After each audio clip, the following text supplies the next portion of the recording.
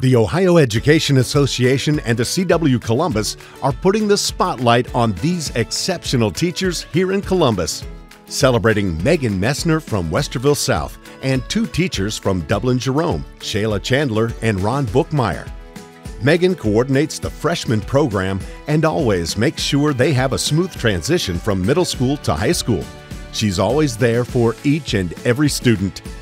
It's kind of an indescribable feeling when you have that connection and you can make that um, you know, impact on a student to prove to them that like they can do it and that people here support them and are on their team.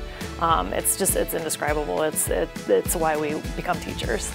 Shayla and Ron started teaching at the same time at Jerome and have been lifelong friends since.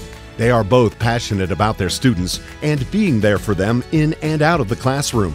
They do start to get confidence, and I think trying to get them to build that confidence really does help.